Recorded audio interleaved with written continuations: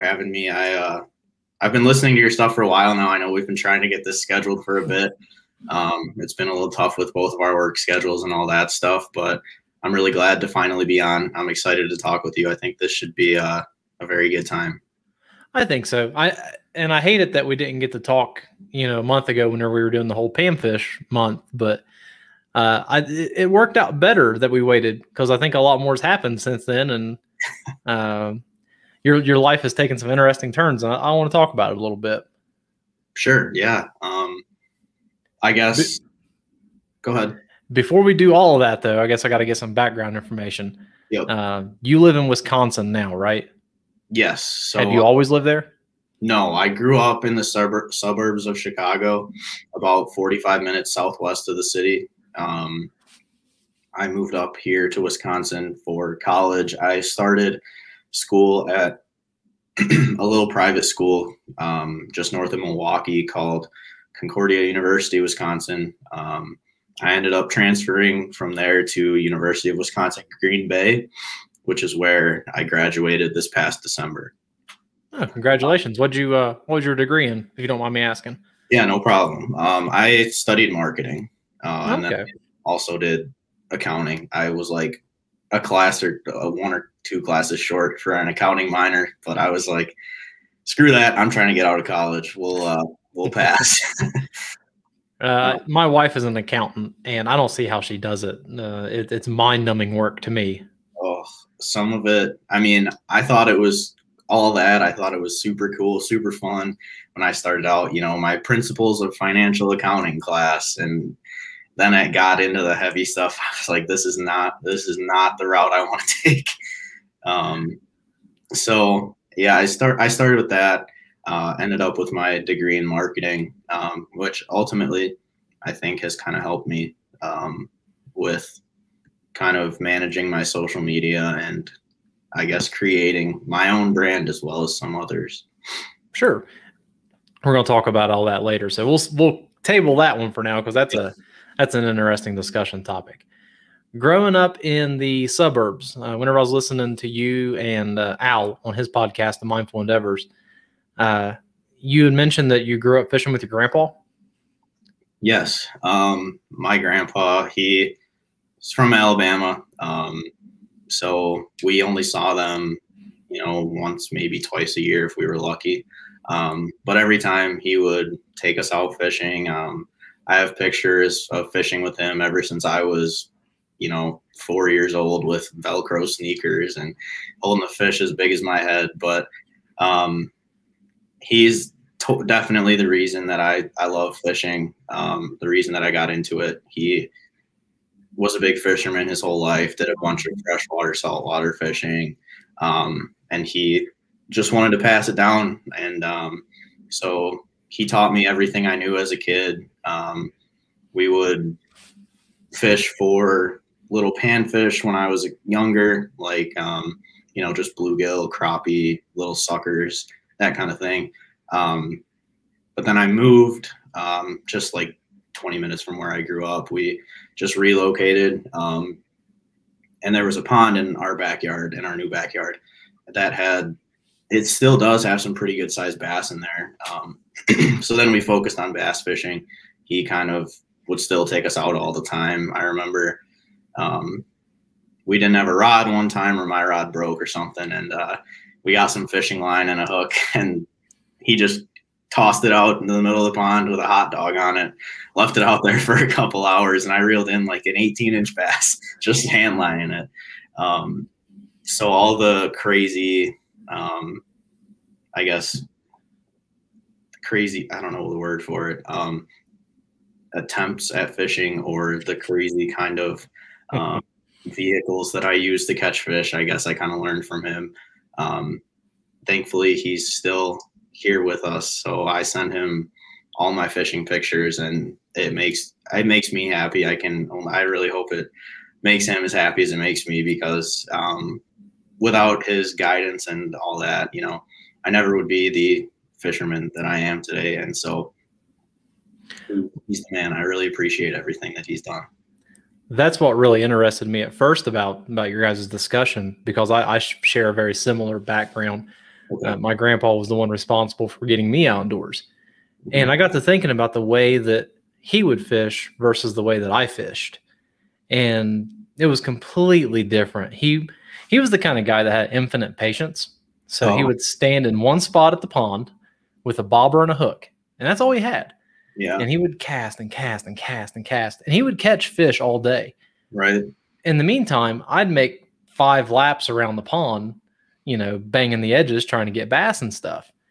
And he never really said anything to me about it, but I think it made him a little bit antsy. And yeah. he always just wondered why I didn't stand right there and fish with him. Yeah. Was, was your grandpa that way, or did he have a lot of different tactics he used? No, I, I, it's funny you mentioned that because one thing my grandpa like to this day will talk about with me is patience and I was not a patient little kid when I would fish with him. I mean, if we weren't getting fish, I was ready to go to a different spot or, you know, target a different fish or do something else. Um, and he was always harping on just be patient, just be patient. And uh, so yeah, I totally I totally get that. It's funny that you say that because I think that I did have a very similar experience. You know, I guess as kids you're kind of just like looking for that instant gratification when you're out there. You know, you just want to go out and have fun and catch a fish, but as you grow older, you know that that's not always how it goes. So growing up in Alabama, what did he usually fish for? Was he was he a multi-species guy or did he target panfish and stuff?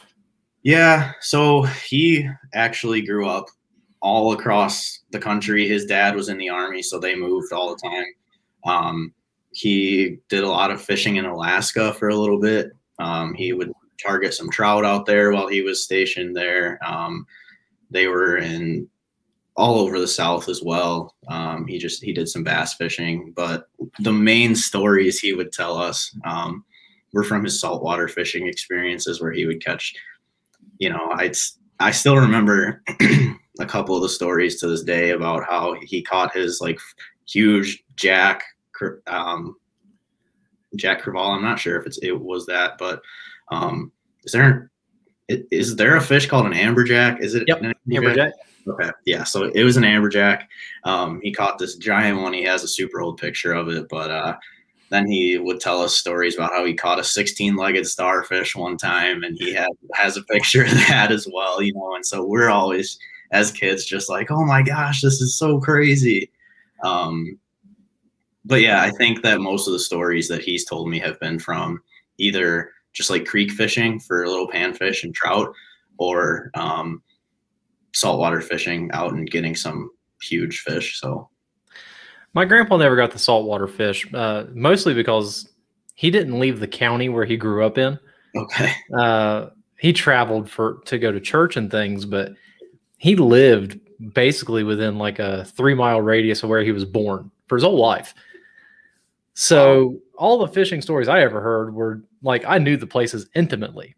Mm-hmm. And one of his favorite things to do was catching carp. I don't know why he liked them, but uh, they would go down the river and he would make homemade dough balls. And he would cornflakes, vinegar, whatever it took, whatever he made. And he would, you know, pack bait around a hook and throw it out there, plop. They would take them home and eat them. Yeah. and I think they, my grandpa grew up in a time, he was a depression baby. So they grew up where they had to eat just whatever they could. Right. And they they lived on stuff like that. And catching panfish with him, if, if it was, I don't know, four inches, five inches long, that son of a gun was getting eaten like right now. and and it was more bone than it was fish, but yeah, he loved them. That's awesome. I uh, that's that is crazy. I mean, it's I, I I know a lot of people ever since I moved up to Wisconsin, I guess it's been a similar thing where people, you know, their family grew up here and they stay here and, you know, this is just where they're established. Um, versus where I grew up, it was a lot of people moving around, coming from literally all over the world to live here. And um, so I, I respect him for that. I think that that's really, really cool uh, right before he passed away, we we had decided we were going to move, and uh, he was very very upset that I was moving. I, I was the first one in our family to move out of the county. Oh wow! Yeah, and he uh, one of the last things he said to me was, I don't think there's anything worse than breaking up a family. And I Oh, thought, ouch, Papa, why you gotta do that? That's bad. but you know, it, just different times. You know, he, he grew up in, in an era where family and was everything. If you didn't have each other, you you were drowning. Yeah. Well, and So- that, it's also different nowadays with you know how we can communicate with anybody wherever the heck we want, whenever we want, just at the push of a button, and you know that makes things quite a bit easier for us than it did or than it was back then. Um, because you know, like you said, if you didn't have your family there, you were on your own. There wasn't anyone you could reach out to. Like you kind of had to just figure it out. And uh, so you you moved away from your grandpa, right? Like out of out of the suburbs into Wisconsin. Yeah, so my grandpa, they he currently lives in Mississippi now, but my whole life he grew up he lived in Alabama. Okay. Uh, So we I moved from Plainfield, Illinois, is where I grew up and went to high school. Um, I moved there or from there to Green Bay in May of 2019. So actually just about two years ago. About the same time I moved. So I got a job. Uh, I got a full time internship. Um, So it continued over summer and all that. So I figured, you know, I would move up here, and that's currently the job I have right now. I'm I work as an IT auditor at, Uh-huh. at um, Associated Bank in Green Bay. Um, so that internship and this job was kind of the main reason that I ended up coming up here. Um, I met my girlfriend in college as well. Um, she's originally from Green Bay, so it was a pretty easy decision for me to come up here and uh, to stay here. I absolutely love it here. Like it's so different than what I grew up doing, and there's so many different opportunities for outdoors and especially fishing activities. Like, I mean, I grew up pond hopping, you know, neighborhood ponds, fishing for largemouth and bluegill, and that's it. Um, but now, I mean, it's tough to come by like a decent largemouth spot around here. Uh, So you Mhm. have to target a bunch of different fish, which is so cool. Um, you know, I've like prior to coming here, I'd only ever caught like largemouth, bluegill, and a carp or two. Um, and now I've caught so many different species of fish up here just because they're accessible and that's one of my favorite things about here is the change that i had to kind of um, adapt to i guess kind of like what you were talking about in one of your previous podcasts I, I remember you asking the i can't remember who it was with but i remember you asking the guest about you know did you you have to adjust to fishing in colorado because you were talking about moving um, and how the fishing was a tough adjustment but it's been a a cool one that's for sure I'm very upset that all I catch now is trout. really Oh my god! Whenever I lived in Ohio, I, I thought about catching trout all the time. But now that I'm here, I'm like, man, I just want to catch something different. I'm tired of catching rainbow trout and brown trout. I want bass. wow yeah, yeah, it- and I'm getting there. Uh, I, I've found a couple of spots where I can catch some some decent bass. What I miss more than anything is my crappie fishing. I cannot find a good crappie spot here. Um, me and uh, actually a friend of mine that just came out in February, I think. Yeah, February. Uh, we had trout or uh, we had crappie dialed in in Ohio. Yeah. Now I I can't catch them. I've caught one trout since I've been here in two years, and it was like a a four inch crappie, and I, I was I was disgusted. oh my goodness. Yeah i uh in all honesty i haven't caught a crappie since i went fishing with my grandpa as a kid. It's been probably 10 12 years. I um it's been forever and i really really need to find some spots to get on them i know there's some around here.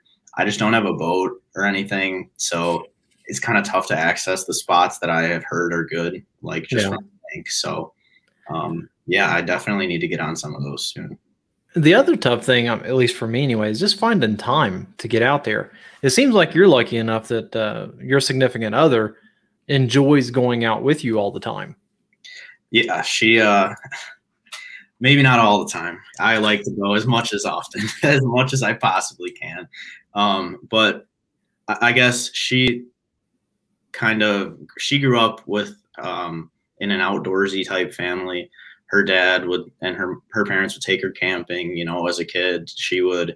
Her dad would go hunting all the time. He would go fishing. They took her fishing as well. Um, so she's been around it for a while and kind of appreciates the outdoors. Um, and so when I really started to get back into fishing again, kind of when COVID started, um, I was like, hey, we had a pond right at our old apartment and it was loaded. It's loaded with these little dinky bass. Um, I mean, you can't catch anything bigger than probably a pound and a half in there. So uh-huh. I was like, all right, let's just go try it, you know.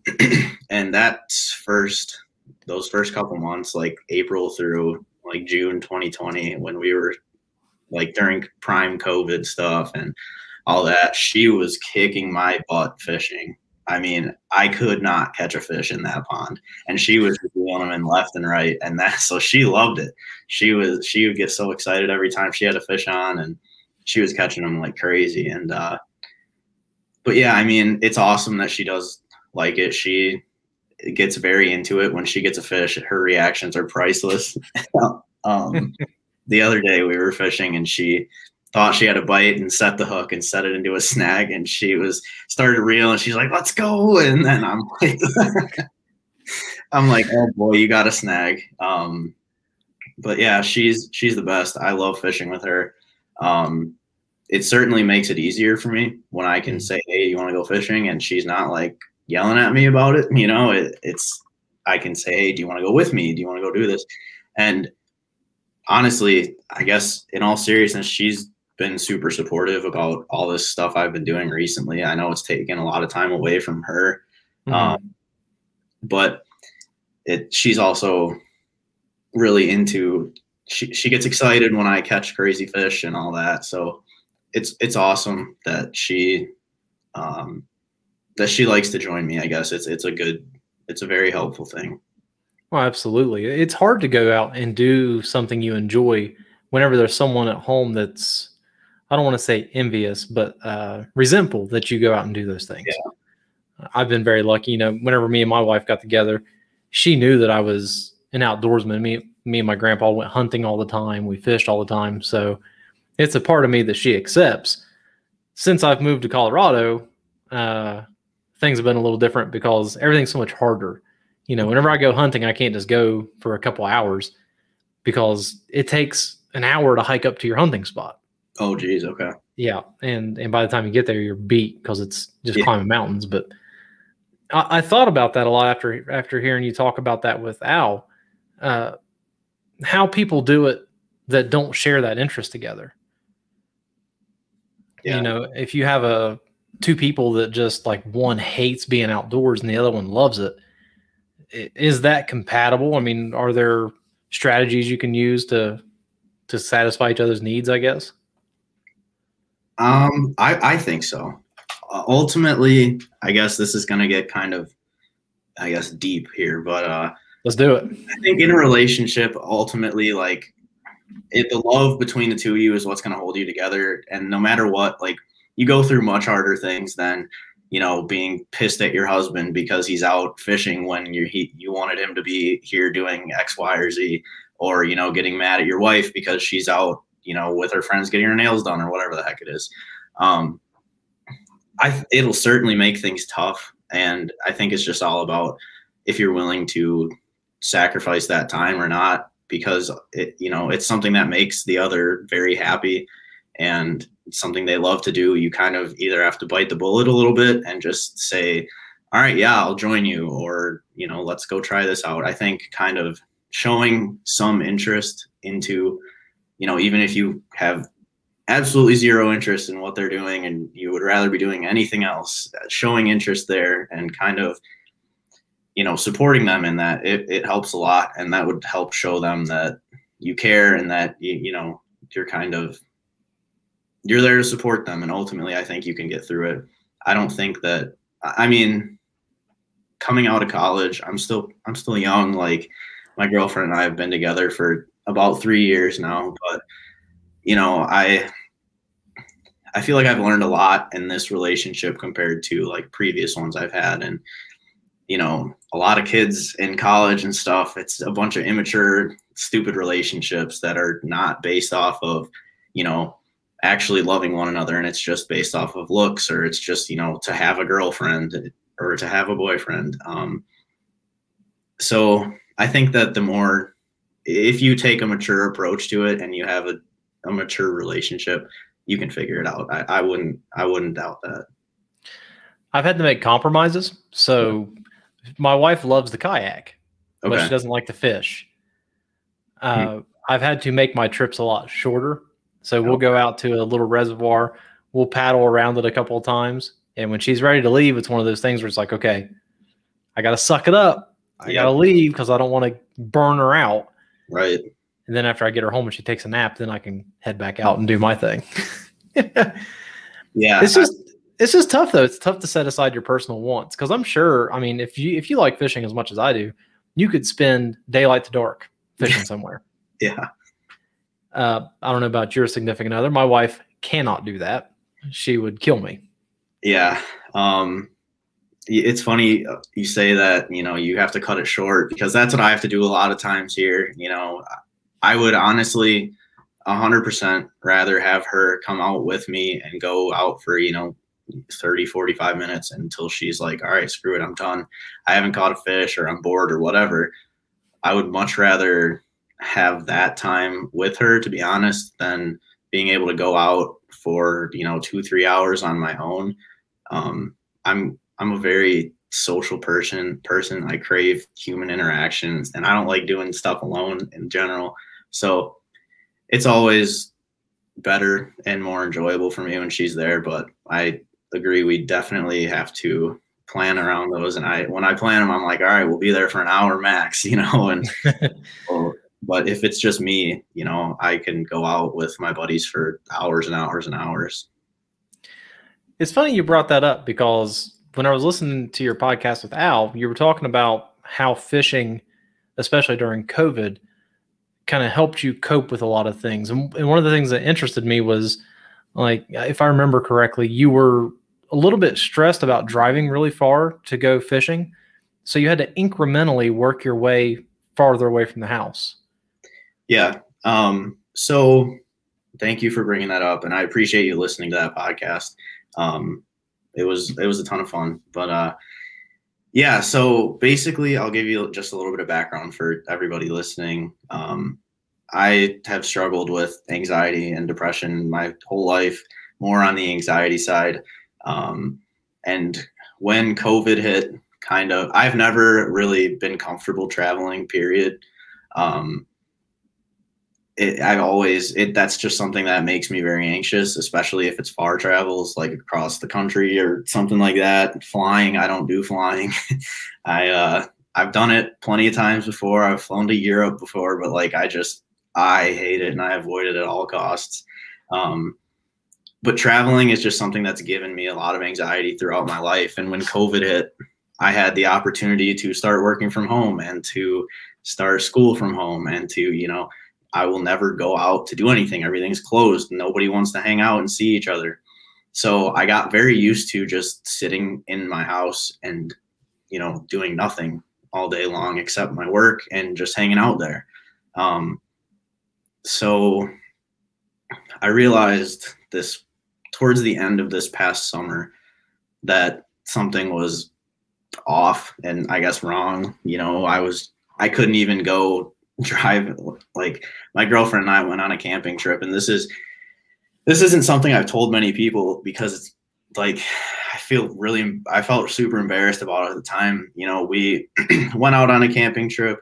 We were all super excited about it, you know, telling all our friends and then I I, uh, I started to have some panic attacks and I ended up, you know, throwing up and it was a disaster so we left like before we even stayed the night.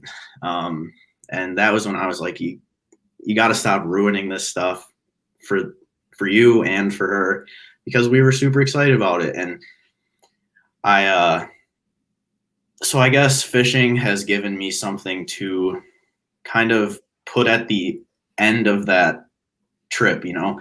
If I if I'm going 30 minutes, I get to go fish right after. You know, I'm excited to get there and I'm not worried about the process of getting there. Um, and so, like I said with Al, um, I kind of started, you know, let's go 30 minutes away. Let's go an hour away. You know, let's go back home for like, that's like a three and a half hour trip. Um, and even when I would go back home, I was still, I still noticed, you know, anxiety and stuff. And I was like, this, this kind of sucks to be honest. Like it, it, it was hard because not even being comfortable to go to your own parents' home, like that was tough. But, um, it, fishing has helped me a lot because like I said, it kind of gives you a light at the end of the tunnel type thing. Um, where I can, like I said, look forward to whatever I'm going to, um, wh- wherever I'm going, I guess. Like, so now, you know, I have a bunch of trips planned. well, in my head, they're not on paper yet, but I have a bunch of trips planned this summer across Wisconsin, hopefully to Minnesota. Um, gosh, I mean, even if if I'm feeling crazy or up to it, we'll see. Maybe make it out farther somewhere, Texas, Florida. We'll see. Um, but yeah, fishing and the outdoors are just kind of like an escape for me. Like you, all day long, you know, you sit there and you're working and you're dealing with people, you're dealing with your family, you're dealing with your own personal issues. And when I go fishing, I can just focus on fishing. I can focus on like the littlest things, like what color am I going to throw right now because the water is stained compared to what it was, you know, two days ago. Um, so I think that it's just kind of a coping mechanism, I guess, with that, with to deal with my anxiety. Um, it's super helpful. I mean, I, it's not a one size fits all solution for everybody, but it's certainly something that I have found helps me a lot. I can sympathize with the anxiety stuff because uh, my wife has some anxiety issues, and on our first trip out here to Colorado, we did a, a two week road trip, okay. and we were the same as you. We were pumped all the way up to it. We were going to camp out in the Rockies. It was going to be a great trip, but we didn't really plan any of it. We didn't plan our stops. We were just going to drive, and whenever we wanted to stop, we'd stop. Right. After about day two, she had crippling anxiety issues. And for her, the rest of the trip was really hard. Yeah. She really struggled with it. So I, I sympathize on that front. And the whole reason I started the podcast is because I was starting to suffer. We okay. moved, COVID hit, everything locked down. Yeah. And I could feel myself getting anxious. I was in the house all the time. And I'm like you, I'm a social creature. Right. Um, I had a four year, at the time, a three year old and a five year old that were, you know, daylight to dark up yeah. my rear end.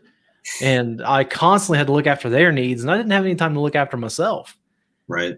And it got to a point where I was like, I don't even really recognize who I am anymore. I'm just, I'm being suffocated under this. Mm. And and the podcast, thank goodness, has helped me release some of that. But it's it's interesting that you said you're a social creature and you have anxiety because usually those two things don't go hand in hand. Yeah, um, it's it's different, I guess. You know, ultimate throughout the years of kind of analyzing myself, talking with doctors, counselors, psychologists, all these people, you know, about why this is happening and how I can fix it. Um, I've kind of realized my anxiety stems from situations in which I have low to no control over. Um, like one thing, I I don't I don't drive with other people. I always drive. I do not. I just I can't do that. It it makes me so nervous. I have zero control of what's going on. I absolutely hate it. Like even if it's a someone offering to drive like five hours, you know, for me, I'm just like, nope, you know, I will do this. I'll pay for my own gas. I don't care. Um, so yeah, that's kind of where my anxiety stems from is the lack of control over a situation. Um, and I've never really had issues with, you know, speaking to people or interacting with people. Like I said, I mm-hmm. absolutely love it. Um, but like my brother, on the other hand, he has some similar issues, but his are just the opposite. He has he's super super smart. You know, he can do he can travel, he can do all that kind of stuff that I struggle with, but he struggles very very heavily with social interaction. Um, and so it's it's weird because like a, a year or so ago we mm-hmm. we got put on the same anxiety medicine. I had been taking it for a while and it it helps i still take it now. It helps me so much. Um, but it it ruined his life for the time he was taking it. It well, he was miserable. He was sick. He was anxious all the time. And so it just really goes to show how different everybody's situations can be with a very generalized, I guess, disorder, mm-hmm. if you will. Um, because ultimately it's, you know, your brain is just wired differently and it is what it is, you know. I I don't like to see it anymore as like an official disability or a disorder or something that's wrong with me, you know.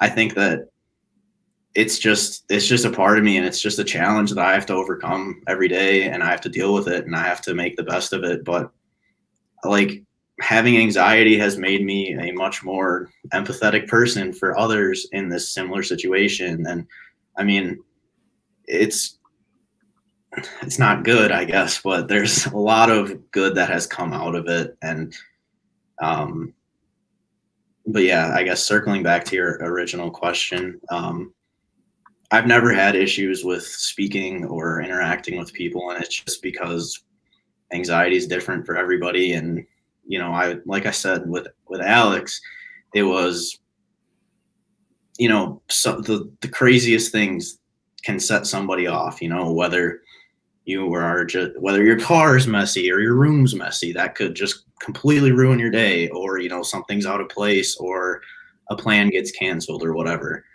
Um, it's just different for everybody. There's no one size fits all solution, but um, I think that it, I don't know, everybody that suffers or deals with it, it can kind of relate. And I think that it's something that people can ultimately use to their advantage if they kind of, if they work on it and try. I think it's great that you talk about it and acknowledge it. Uh, it's it's not anything to be embarrassed about. It's it's just something like you said. You it's a it's a goal to overcome, an obstacle to overcome. Right. Um, how long did you? I don't I don't want to say suffer with anxiety, but how long how long did you go through having having this anxious feeling before you actually went and talked to somebody? And the only reason I ask is because I recently did a podcast with a, a gentleman that runs uh, all male fishing guided trips. Okay. And it's it's it's wilderness therapy. So they they get this group of guys together that are by all accounts successful people, but they're hmm. afraid to talk about their mental issues. There's right. a, there's a sort of stigma around men's mental health. Yep. And he said that you know, typically a man will go at least 10 to 12 years suffering with whatever's wrong with them before they ever think about talking to somebody. Yeah, I that's very true and there, I I'm not a fan at all of the stigma around the negative stigma around men dealing with mental health issues. I mean, so in my case, I was kind of lucky. Um, without going into too much detail craziness, um, my parents got divorced when I was six. Um, it was not a pretty divorce on any account. Um, so, and uh, that's when I, I kind of started showing anxiety initially. I was a kid, and my mom sent me to a counselor. So I would I saw probably 10 or 15 different counselors by, from like 6 to 18 um, while I was there in high school, like up through high school, but I in high school I stopped and I was like screw this, like I'm fine. I know I'm okay. I can do everything I want to do and I'll be all right. um, but it was actually three, four years, four years ago now, um, just almost to the day. Um, I was having it was just a really, really bad time for me. I was struggling really, really, really bad with anxiety. I was having panic attacks that would cause me to like black out. I would have multiple of those a day. I would throw up. I would, you know, make myself sick, freak out, leave school, you know. Um, and one morning I was driving to school and I had a panic attack, blacked out, and crashed my car. Um, luckily, nobody got hurt. I didn't we it was just uh, the car got damaged, but that was kind of when I was like, all right, you got to figure this out because this is this is really not not good at all. Like you're afraid of going to school as a senior in high school, and you've not been afraid to go to school, you know, since you were five. And so then I, my ex girlfriend at the time, she was like, look, you might have anxiety like you should probably just check this out you know this isn't normal for people to be you know normal for people to be acting like this and you're kind of like you're acting weird you're doing this and that so just get it checked out. And i was like no no no i don't have anxiety. I dealt with that when i was a kid i'm fine. Um but up until that crash i i actually ended up in the er that day because i had just nonstop panic attacks throwing up i just i couldn't I couldn't control myself. I had no idea what was going on. Um, so that was kind of when I took it upon myself to actually get better. Um, ever since then, I have been on and off talking with people kind of as needed. Um, recently, a couple months ago, I my anxiety started to get really, really bad again. Um, and so I have been talking with a counselor. And I mean, I'm not afraid to say that. Like, people might think, you know, if you're going to a doctor or a psychiatrist or whatever, you're crazy or you need help, like, you need mental help and you're all messed up. But it's, I mean, I do it so that I can control my life and live a life I want to live. Um, it's not anything to be ashamed of. I mean, that's what they're there for, and that's what I, I hate that people discourage, you know, especially men from talking about their feelings. And, you know, I have in the last couple years, I've talked with a ton of my friends who have said, "Oh yeah, I've actually been dealing with this as well." Like in college, I was very open about it to a lot of people because they would see me taking my medicine before bed every night, you know, and they oh, what's this? So, um, a lot more people than you think deal with similar stuff like that. And there's no reason you should feel scared or anything to reach out, scared, nervous, embarrassed. Like there's no no reason at all. I mean, it affects so many people and it's it's just you know, I mean, it's just like any other thing. Like people everybody has their baggage, everybody has their issues that they deal with, but it, it's nothing different than you know if someone I don't know had like a physical uh, like a physical disability or a learning disability or anything like that. Like you don't treat them like pieces of crap when they talk about it or get help. Like you don't make fun of them. You but there's a trend to kind of make fun of people that are talking about mental health and stuff and it's not I don't think that's appropriate. It's not. It's certainly not helpful. That's for sure. And it, oh no it, way. Mm, and the benefit of talking to a psychologist, psychiatrist, other than the fact that it's someone that's trained that can help you work through all these problems, for me, it's you're talking to someone that is disassociated from your life. Yep. And they, they can offer you a completely different perspective. So if I'm having a bad day, I can call and talk to my mom. I know exactly what my mom is going to say to me. Well, the first thing she's going to say is you need to move back home. but after that, I know I know the train of thought, and it doesn't really help me any. Right. I could talk to my wife, but I know what she's going to say. Yeah. You go and see someone that has nothing to do with your life at all, and they can just they can say a few things, and you go, "Oh, well, I didn't look at it that way." Simple as that. And yeah. then when you then when you couple that with you know an activity you enjoy, such as fishing, you mentioned it, you know, doing those types of activities gives your brain just a second of just rest where you're not focusing on your the daily crush of life. you're focusing on what color jig to throw. Yeah. And, exactly. it, and it's easy. Same thing with hiking in the woods. You know, whenever I was going hunting. Yep. When you're huffing and puffing at 9,000 feet and your fat ass is out of shape, you're not thinking about the daily grind. You're thinking Yeah. about how you're going to get off that mountain if you shoot a deer. Yeah, I gosh, I wanted to ask you about that. Um, you mentioned the elevation change. I, in the previous podcast, personally, I think that would be a huge pain for me. I think that would be super tough to deal with. How was that with you for you? I didn't suffer too bad. Now, I haven't been super high up. You know, there are some 14,000 foot peaks here. I haven't been up there, and I'm sure that'd be a lot different than where I'm at now. but I went from basically sea level to the city I live in now is about 5,000 feet above sea level. Oh, wow. Um, that was a little bit of a change. You know, uh, walking up and down stairs, what you'd notice yourself getting out of breath. Uh, mostly, the biggest struggle has been just the the steepness of elevation change. So some of the places I hike, you know, within a couple miles, they gain a couple thousand feet. wow. Yeah, it's brutal and it gets hot and it's I don't know. It's just it's tough to deal with. It's a completely different surrounding than what I was in Ohio. Sure. And I was in the hilly part of Ohio. But we had hills. They weren't mountains. Yeah. These things don't end. I mean, you start walking up them, you're like, okay, I gotta I gotta be close. And you look at your uh your map and you go, Oh God, I'm not even halfway. That's nuts. Yeah.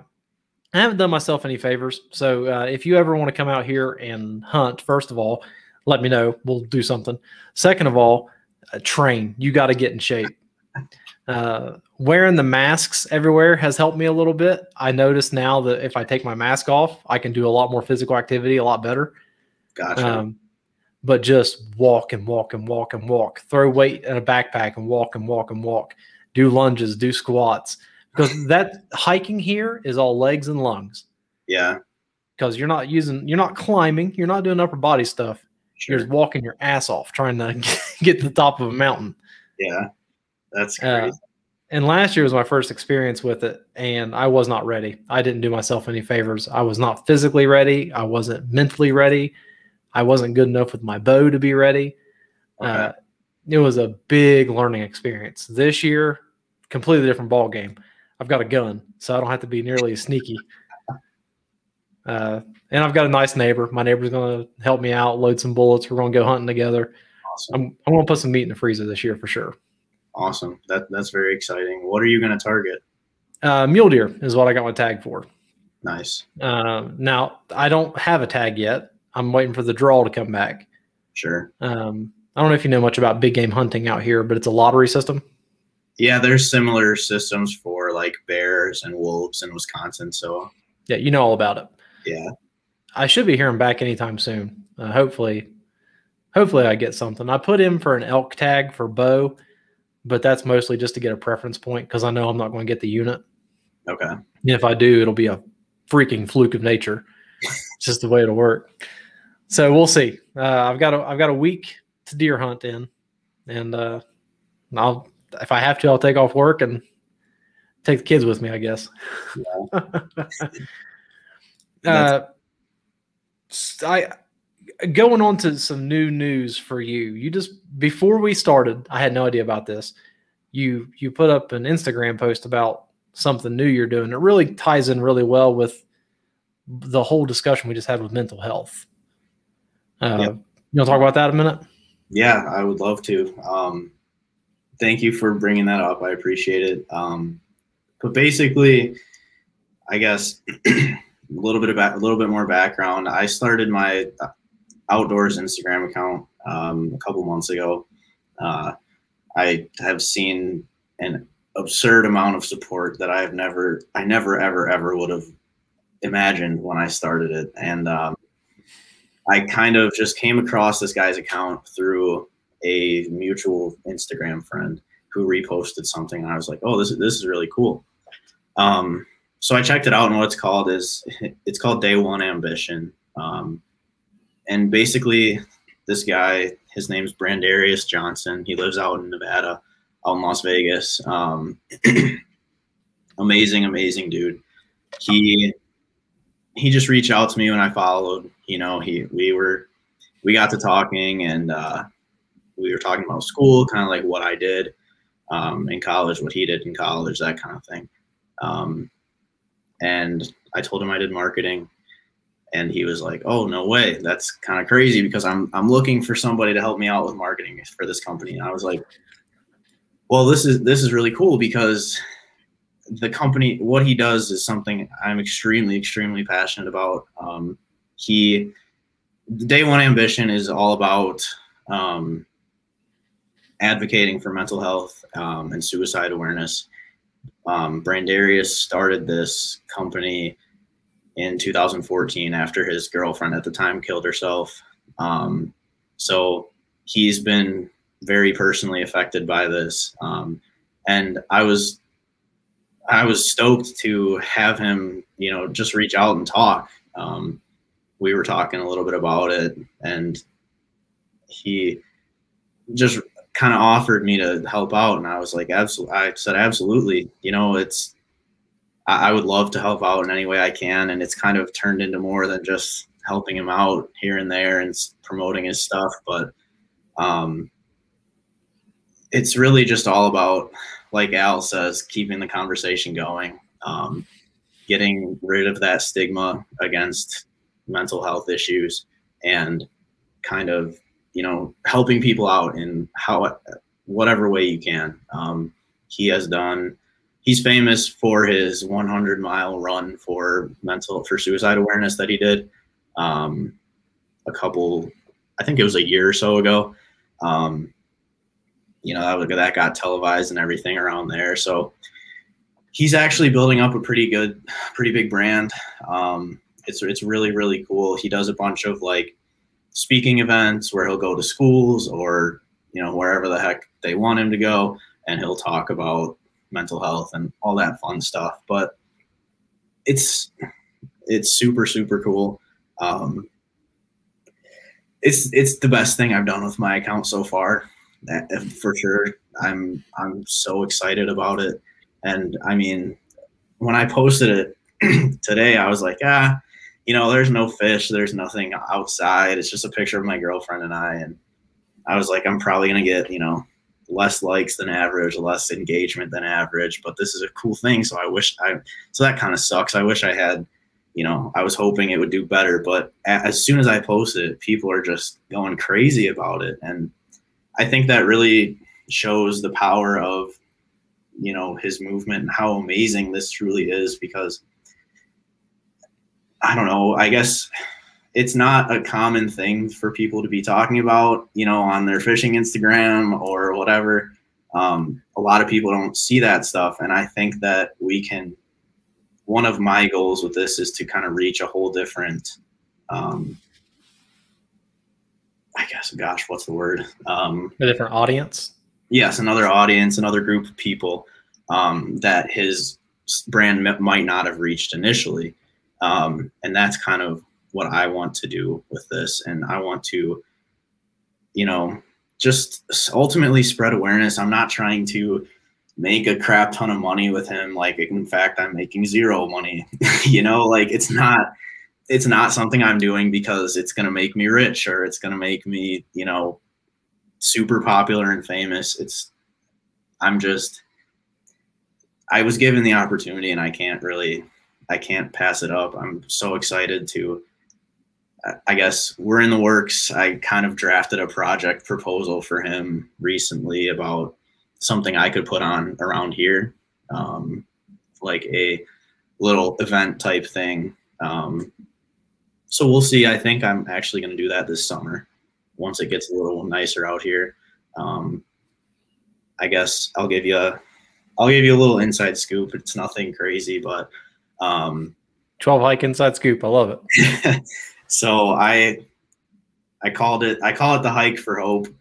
Um, and it, I just basically want to put on a little event, like a, we'll go to, you know, a state park or something in Wisconsin around here. I'll get friends, family, anyone that's actually interested in coming.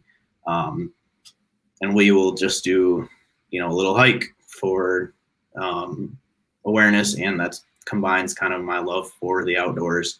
Um, we'll do, you know, speaking and I'm not sure. We'll we'll do a probably open up uh, like a Zoom or something like that, so we can have people from if they can't physically make it, they can at least listen into the meat of the event, which is going to be him, Brandarius, and I talking about you know mental health issues and all that all that craziness. But uh, yeah, I mean, it's super super awesome. I I cannot thank him enough for giving me this opportunity and just you know it's like I said, it's the best thing I've done with my account so far. I, I the support I've seen just on this post is nuts. I mean, people are so happy about it and they think it's so cool and I mean, I really hope that I can help kind of make that attitude towards mental health a more common one. Mm-hmm. You know, people that are looking at it like, oh, holy crap, like, what is this kid doing? Like, really? That's not, that has nothing to do with fishing. I don't want to say crap. But, uh, I think that's kind of the weird thing about Instagram. So you see so many pictures and so many profiles that are all about the likes. That's all they care about. They're they're doing the stereotypical mountaintop picture or the big fish picture holding it way out in front of them with some kind of motivational caption underneath it and they're tagging all these companies and stuff right what you're doing with brandarius is is a genuine like from the heart thing you care about yeah. And that's what's going to make it successful. You're not doing it because you want to get a bunch of instagram likes.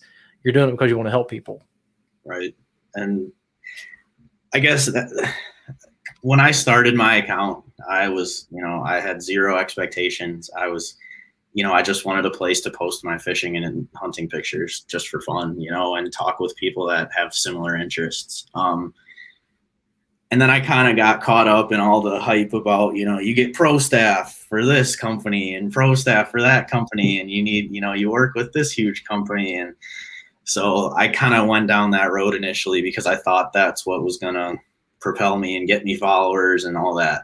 Um, but I guess recently, in the past couple of weeks or so, month, um, I have been, I kind of rethought through, I was like, you know, this is not why I did this. I didn't start this to become rich and famous. Like, I just started to kind of have some fun and, you know, make some new friends and man, I have made so many new friends through this. Holy cow, it's amazing. Um, Instagram is one of those weird things, technology in general. So it has the ability to bring people together. Like I've talked to you, Al, I've talked to people in Canada, mm-hmm. people that I never would have ever had the chance to talk to before. But at the same time, you can have families at a dinner table that don't talk to each other because they're on their phones all the time. Right. Is, is that a net negative or a net positive? I don't know. Um, I think that's a very, very, very good point, and that's something that you see all the time now. Like you'll go out to dinner, and there will be four people at a table, all just you know their mm-hmm. phones in their faces. You know, they'll eat and they'll leave, but and I, I admit I do that. I do that stuff all the time, especially you know with with this account now. I get a bazillion notifications all day. I'm always on it because I want to know what's going on.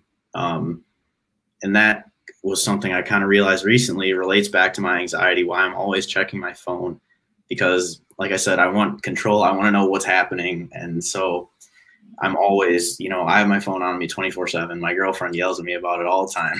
so, um, but I mean, it does afford you the opportunity to connect with people like that you never, ever, ever would have. But then again, you know, it can also take away from the relationships that you have already. They're your close familial relationships, your friends, whatever. Um, you know, my girlfriend will yell at me, stop paying attention to your phone and pay attention to me, you know, and so um, it's, I don't know. Ultimately, I think that it's a good thing. I think that there are a lot of benefits. I just think people use it the wrong way a lot. And you know, it's tough.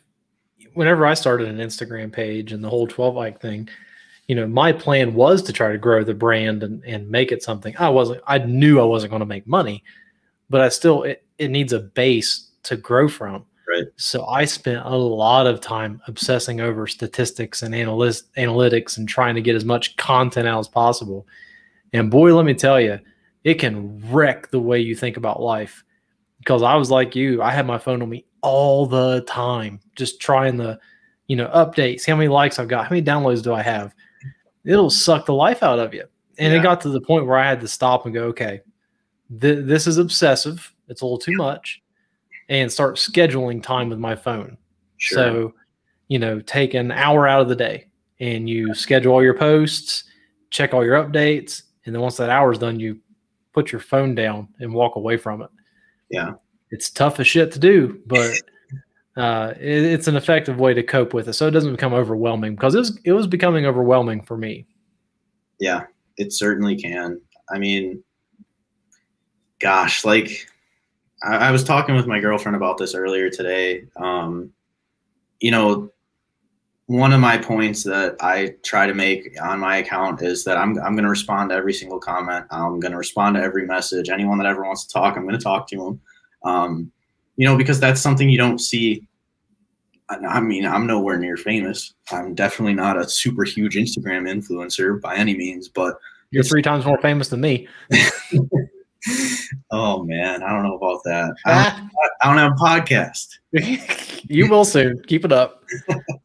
but um, I, I guess like some people, you know, like the super famous celebrities, they will never respond to anything. They won't like comments. They won't respond to DMs. They they don't give two shits about you know responding to some random person across the country, you know, or across the freaking world. And I think that's kind of upsetting because they were once those people, you know, they just happen to have some great content. They worked their butts off and, you know, they got famous and they got rich. But I think I hate when people don't stay humble and forget their roots because and that's one thing I try to do all the time is just I, I, I try to stay humble and no matter how you know if I get 500 likes on a post or whatever or 200 likes or you know it's just I just appreciate the heck out of it. I I love every single person that supports my account. It's just nuts that these people want to watch this idiot up in Wisconsin try to catch fish. Like I I just cannot believe it. But man like like you said, I'm trying to kind of be unique and build my own path in that way where I'm not doing this for the likes and for the fame and for the money. And I really, I mean, I'm trying my best. I think that I'm, I'm doing a decent job, I guess, but, um, I, I, I really, I really value other people's opinions and other people's time. I know they took time out of their day to comment on my stuff, to like my stuff.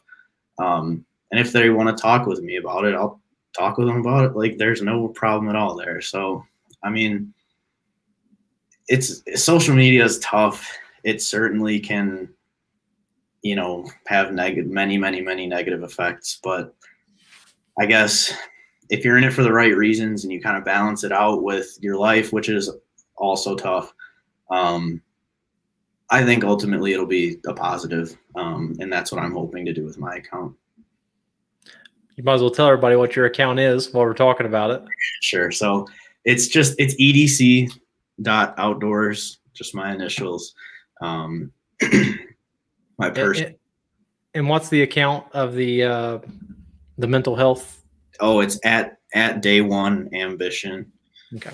Um, no spaces or anything crazy.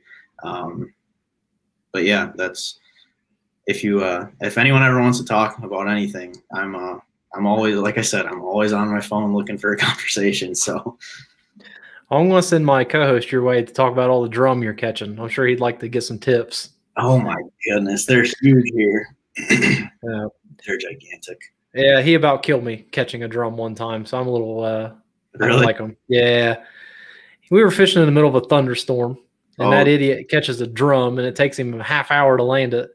And I'm just standing in the middle of this creek with a nine foot fly rod, just a just a lightning rod, right, waiting to get struck. So I ruined his crankbait for it and got him the hell out of the river.